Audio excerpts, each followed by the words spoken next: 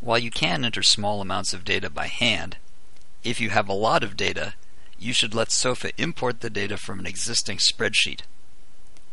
In another video, we exported survey data to a comma-separated value file.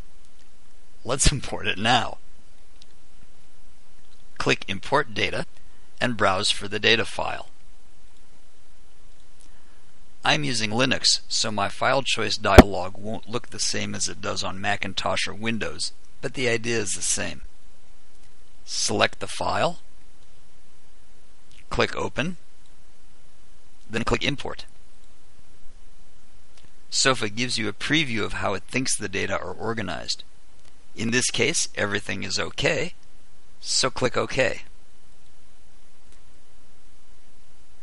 Once the data is imported successfully, SOFA will let you know.